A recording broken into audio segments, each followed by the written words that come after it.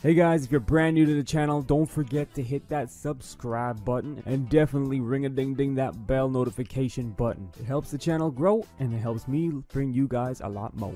Hey, what up guys? Welcome back to another episode of Before You Buy. And today we have one of the, my most anticipated figures in this line for the past few years, and it is the con exclusive Super Saiyan 2 Goku. I'm really glad I picked this one up, as I do truly think it exhibits the exclusive archetype being one of a kind figures. Alright, enough chatter, let's get into it. Alright, so if you were debating on whether or not to pick this guy up, you'll be pleased to know that there are quite a few things going for this figure in favor of a purchase. But let's start with the obvious here. This is the only figure in the line where you'll have Goku in this transformation without customizing or purchasing third-party accessories. Now, I could be wrong here, but I think Super Saiyan 2 in general still has that cult fan following of its own, myself included, and why not? It's an awesome transformation, and I was glad to see it get a little bit more follow attention in Dragon Ball Super. This figure now joins the ranks of Gohan, and I, I, would say Majin Vegeta, but I'm not going to because that figure's head sculpt isn't really much different from Cell Saga Vegeta's, well, the 2.0 anyway. But this is an exclusive and there's no other way to get this transformation, especially for Goku, without picking this up. Next up is a commonality we see across exclusive in general, and that is the increase in the quality of plastic, as well as the immaculate painting on the figure. Guys, I can't get over it. There's no bleeding edges or anything. There's no random specks of paint. The hair looks great. It's got that golden sheen to it. And aside from the hair paint being unique and more of a golden color, it's true to the Super Saiyan 2 transformation. Now, the faceplates came out great as well, and I love the four expressions they chose to include here. Very well rounded for the emotions and expressions that Goku would probably convey while in the Super Saiyan 2 form. I mean, you don't see like happy faces as much as in the Super Saiyan 1, right? So that's what I'm getting at.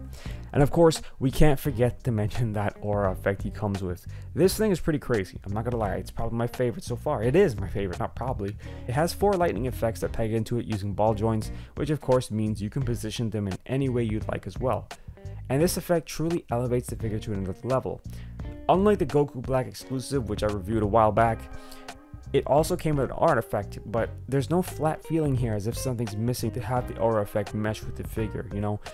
The lightning just does that, and it goes with other characters too, I might add, like Gohan, Majin Vegeta. And I mean, for Super Saiyan 3, this was an interesting one here.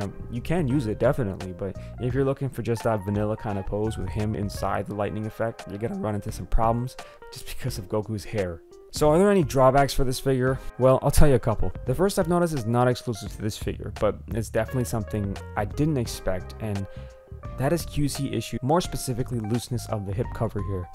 Now while this shouldn't affect posing in any way, it does cheapen the feel of the figure slightly in hand. I mean, this is supposed to be kind of a premium release, right? So it stands to reason we really shouldn't be seeing this kind of stuff here. On the bright side though, I'm glad it isn't a loose head or neck or something because that would have been I can't even find a politically correct adjective to use here, guys. It just would have been so such a. I think other than this, the only drawback I'd like to grab about is the difficulty slash frailty of the aura lightning effect parts. They can be difficult to peg into place on the actual base, which is also a good thing because they'll hold. But at the same time, I can't help but worry about snapping these things due to the force required to get them into those holes. Again, not a major issue with the figure itself, but something to consider when you're spending hard-earned money here. Alright guys, so you've seen the good, the bad about this figure. You've seen people's reviews in the past. So in conclusion here, I'll say that if you haven't picked this figure up, go and get it right now. The price is only going to go up. Yes, it's slightly pricier than a regular release in the first place, but I think it's well worth it.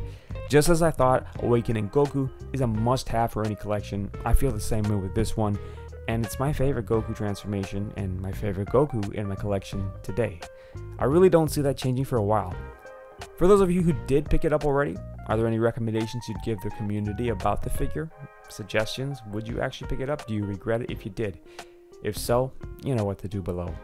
That's all for now, and you know what I always say guys, may the best of today's be the worst of your tomorrows.